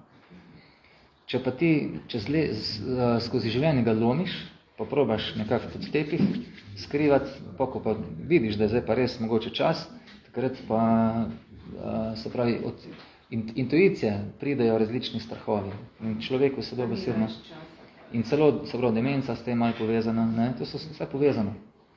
Tako da, veste, kak je en, veste, kak, evo, primer, mi velikrat, ja, one barabe tam krade, veste, kak svetniki na takeg, na Il- Illuminate, Prost, Bilderberge, poznate, to so te elitne skupine, oni na njih so sočutjem gledajo. Jaz to nisem mogel verjeti, tudi ki je prišel k enem eh, pravopadu, enem učitelju je prišel, en milijoner eh, v Indiji pred leti. Pa vsi tam so se mu probali skoraj malo sliniti, on ga je tak sočutjem gledal. Ker je rekel, le, nar, človek nima pojma, zakaj živi, tukaj ta denar premetava sem pa tja tam, ampak nima pa, ne, ne ve pa točno, zakaj živi. Tako da je, ja, uh, dobrota, do vseh, do sebe, do ostalih, do vseh, do vseh. Ljubi svojega sovražnika. Tako en kolega mi je rekel, s tem je verjetno mislil, ženo, ne, ženo me je rad. Imej vse, ne, vse mi je rad. Tudi tisti, ki te proba rasturati. Meni je sicer izziv, ampak je pa biti, imaš poligon tak, da te res življenje sooči s kakimi hudimi zadevami. Jaz sem imel par takih situacij. Da te lahko tudi take ljudi uči rad med. Čeprav te probajo dobesedno, no bom rekel, najhujšo, ampak praktično te hočejo spod spraviti. E, celo do takih si dobro nameren. Tega se ne moreš tam nekje v toplicah, gor masaža, a, pa kanopečki. Je tak? Da se nekaj iz tega naučiš, ne? Se glih to pravim, da se naučiš tudi do takih biti dobronameren. Ne? Tak da. A, naprej, sprehodi. Sprehodi v naravi. Najbolj zjutraj. Zjutraj. E, narava taka čista, ambient, svež. Vsak dan saj nekaj 4-5 km hoje. Ne hoja 2 metra levo, WC 2 metra desno, skrija 2 metra levo, nazaj. Ne? Hoja, prava hoja. Hoja. V naravi. Pa veseliti se narave. Ta učitelj, ki je bil pri nas v Tursunu, uh, sem, uh, pravi, zelo važno, da se veseliš tudi. Ne, zdaj, da hodiš po naravi, pa cel tak nervozen, cel zamišljen. Da Da se veseliš. Tako, da vidiš, o, kako lepo, se kjer nasmeješ, kjer lepo pozdraviš, kjer kaj daš. To hrano. Sej ste opazili nekaj, da ko se te, evo primer na cesti, ko nekoga pozdraviš, dober dan, dobro jutro, sploh če tako s lepo energijo, to mislim, da energijo nazaj. Če pa tam greš cel ne, boš pa tudi, ne, ne boš dobil energije narave, narave. On te tri stvari zelo poudarja, kot doktor. Uh, se pravi, uh, prvo, gibanje, ne, gibanje, drugo, narava, da rabimo to redno energijo narave. Pa tretje je pa družba dobrih ljudi. Družba dobrih ljudi. Ne. Pogledajte, daj kje, kjer je situacija. Naslednje, odpuščanje in sprejemanje sebe in drugih. Zdravilo smo se že prejemali tega dotaknili. Potem sonce je zdravilo. Sonce, sploh jutranje sonce. Sun gazing, hoče poznate, nekateri v sonce gledajo. Sonce je povezano z boleznimi in z bolezni oči, z boleznimi kože, z prebava slaba, pomeni slabo sonce. Prebavni ogen se reče, poznate? To pomeni slabo sonce. Kaj pomeni slabo sonce? Pomeni, da zjutraj predolg spimo. Slabo sonce pomeni, če se ne držimo uh, dogovorov, če, to, to pa če pozna, kjer Džotiš vam lahko več o tem pove. Ne? Lahko se ga krepiš s tem, da evo, posta nismo menili. Ne? Določeni dnevi v tednu lahko krepiš določene tudi zdravstvene stvari, če ima kjer interes. Sploh pondeljek, post na pondeljek je za um zelo dober, da si bolj miren, ne, z umom povezan. Torek je uh, za odločnost, za borbenost z Marsom povezano. Sto dnevi v tednu so bili včasih s planeti, italijansko je, kak je Merk, znam, ker je italijansko. Ne. Monday, ne, se pravi Monday, del dan lune, angliško Sunday, Sunday, dan sonca, Saturday, Saturn, dan Saturna, ne, potem je torek, sredo so malo, malo so ponašali, na italijani so obdržali pa latinščina, je povezan z Marsom, z Merkurjem, tako da sonce zdravilo sonce. Potem 20. molitev je zdravilo. Molitev. Ne. Ne v obliki tega, ja, daj mi nov projektor, daj mi nov bicikl, daj mi, daj mi vodo ven s kolena s pumpi, daj mi tam. To je vse, to, ni, to, to je fehtanje, to je, ne, to je prosjačenje, to ni molitev. Ne, molitev, imamo tudi nivoje molitve, vidite, ne, različne. Najvišji nivo molitve je kaj, kaj lahko jaz naredim tukaj v tej situaciji. Ne, ne bom v pravem času na pravem mestu, ne se nekaj naučim, ne, dej, pojačaj tempo, da se mi srce omehča. Za druge se prosi, da jih pamet sreča. Čas reče, kuk se ne, kuk ne pomagam unem tam. Tako da upaš, da jih bo pamet srečala. Vse.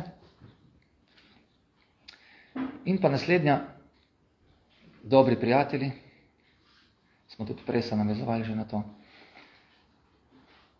In pa 21, če nismo kjer ga preskočili. Enega manjka. En še fali. Pa smo ga pa kjer ga zmisliti. Kaj smo rekli zdaj za prijatelj? Zdravilo je, dobri prijatelji, zdravilo. Zelo važna zadeva. Ampak pol nismo več rekli. Lahko rečemo še to, da in kolega rad reče, if you want to have a friend, you need a vitamin. Pa ga izgledam tako čuden, angliško, kak vitamin. Prav B1 vitamin. Pa še gledam čuden, nisem tako izkužil. Jeste razumeli? Ne, vitamin B1, ne, pomeni, če bi rad prijatelja imel dobrega, bod prijatelj. Bod prijatelj. Prijatelj vseh, ne samo prijatelj naših, mojih, prijatelj vseh. In pa finiš, zdravilo je petje duše in ples telesa. Petje duše, ples telesa. Kjerkoli se veliko poje pleše, to vidite, folklora, po obrazih ljudje veliko bolj zdravi, zadovoljni, srečni. Uh, velikonočne pesmi, božične pesmi, loksus, to bi, to bi skus poslušal. Skus poslušal. Mantre, kjer se poje. Šambala mogoče poznate. Se izrazito lepo. Kitara, kjer se poje. Smaga. Tako da, to bi bilo od mene.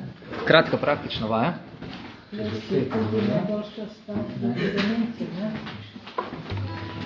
Ampak tako za dodati, za komentirati, vprašati, kar Ja, jaz imam za dodati. V bistvu, eh, kar jaz tudi eh, vse učim pri hrani, ne, da ni hrana samo to, kar pojemo, ampak tudi, kar poslušamo, ne, da se zagibati. Vse ste malo nakazali, ampak to se mi zdi zelo danes pomembno. Ugasni dnevnike, vse ste malo rekel, ne? Tudi ugasni, tudi usta ugasni. Najboljše, ko ješ, da si tiho. Ko jem, to sem čas v vrtcu učil. Ko jem, sem čisto. Ne. Kaj pa danes? To vse gre v tebe noter. Naše telo ima devet vrat, či sanskrit. je kot mesto z devetimi vrati. Ena, dva, so vrata, not hodijo zadeve. Ne, črvi, razne, to, kar ste pa rekli, razne gluposti. Dvoje vrate, če gledam jaz bedarije, tam nek kriminal, tam enega, to vse bo moje, v zavest moja, um. Še dve vrati, če voham tam nekje, cr, ne vem, mrtve živali, zraven smrdi, ne, to bi vse v telo moje. Če pa si še zdaj pa zlusti in jeseda, pa kje ste še pa tam? Povejte ni me. Zbade. Spodnja nadstropja, ne, imamo praviloma, ne. Ne. Se pravi, spredi spodje, pa zadnji spodje. Ne. Tako da, Jaz sem hotel Tam reči, ko nula te potakate v domače. ko ste omenil pek je ples, ples je najboljša in prva stvar proti demenciji. Ne? tudi krasno. Absolutno v svetovnem merilu je prva, drugi so zdravniki. Zato vidite, plesati. Danes mi, zakaj bi rabil se ga nacukati človek, da lahko bi plesati? Jaz sem kolega veliko menihov. Ne? Prvo, kar je, zakaj je dobro, a ste kdaj bili fejst pod pritiskom, kaj se narod misli, kak se bo narod, me vidijo, kaj če me tam vidijo. Mar se gre to fejst vezan. No, jaz sem bil isto svoj čas fejst, fejst na to vezan. Sem šel parkrat z menihi, ki so mantre peli po ulici. Prohari Krišna mantre, pa ostale mantre. Sem šel parkrat poleg, na začetku, obvezno, tam zadnji nekje. Ne, tak. Kapuca, špegle, bicikli zraven za varko. Pol drugič, ne, po drugo leto, to je leto trajalo, pol malo bližji tam, ne, samo še kapca gor, lepo pa sončno čale. Pa pa sčasoma sem pa tudi jaz malo videl, kak, kak, da, kak terapevtsko je tudi lahko tole. Ne, da te ne prebodajo pogledi mogoče ostalih in še česa. Tako da, petje, večinoma ima- imaš razne skupine, tudi, a, Vsako leto, grejo po Sloveniji. Pa vsak dan praktično, vsako leto, zdaj polet bo spet šli cel mesec. Ampak oni vsako jutro začnejo. In tudi vidite, ne rabimo zdaj mi vsi istih pesmi pet. Ampak zjutraj ob petih imajo vsak dan uh, petje, pol ure. Vsak dan. Različne svete pesmi. Uh, drevesu se priklonijo, Tula, baziliki bi lahko rekli, tulasi. Drago, kako tam zdaj samo drevesu klanijo. Vidite, če ti se zjutraj celo drevesu prikloniš. Jaz se zreglavati vse sorte govori, ampak pote, kak je to za čez dan dobro, ne? da si sposoben pa vsakem tle. Ne? Iz, v, izreče se, izkazujem spoštovanje vsem vajšnovom, ki so kakor drevesa želja. Pomeni, da uh, ljudje, res dobri ljudje, so kot drevesa želja, ker lahko vse želje uresničijo ostali. To se mogoče malo čudno zdi komu, ampak vidite, kak dober trening je to za zavest na dan pripraviti. Ko pa če grem sam tam na hiter časopis zjutraj, pa je ekstra dobra zadeva. Tako da pojte, predno gremo med ljudi zjutraj, ima kitarca. Ne, pet. Opekamo tudi na Madagaskarju, imajo velike festivale, cel stadion, pa se to, pa se to udri. Udri se poje, pleše. Tako da bi še kaj dodali, kaj komentiram. Jaz sem velik navijač, da se sploh evo, nekako poskuša enotnost, dobrota, povezovanje krepiti. Zato lahko en tak venček evo, različnih napevov, lepih, čistih, svetih. Zapojemo, če želite, na eno dalmatinsko melodijo. Pojte poleg, sem zihar, da imate zelo lepe glasove, če želite. Začeli bomo z Rati Mej, potem bomo pa glavne napeve. Pel pa se kar priključite in pojte. Rati Mej, se rati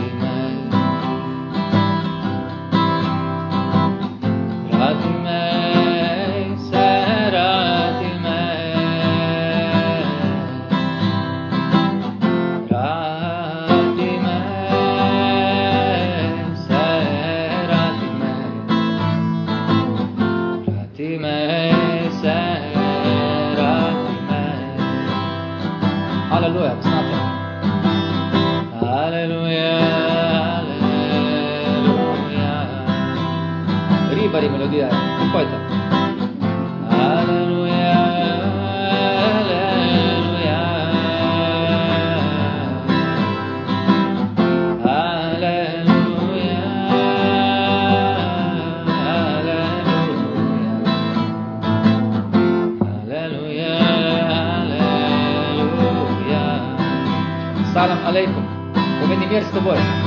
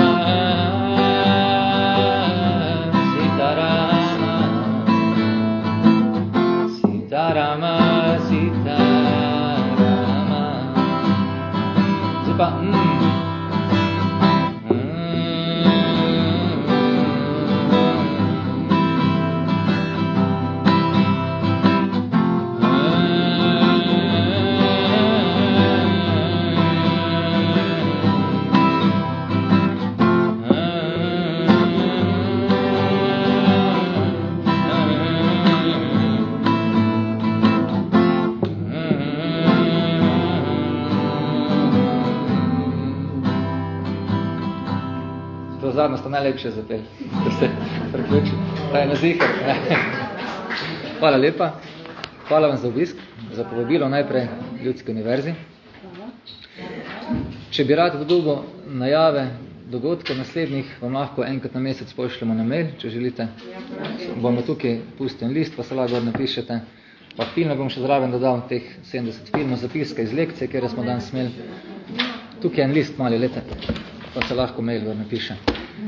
Hvala, ker ste prišli. Plus knjige so na, knjige so na predavanjih polovico ceneje kot na spletu, tako da lahko tudi prijete pogledati, če koga zanima. Kje ste vi rekel, da se v celju srečujete? Odvisno, Aha, ne, to- tajno mesta, nas, Aha. ampak večinoma pri, dajte mi kontakt, pa vas lahko jaz obvestim, da je pa jaz snimam.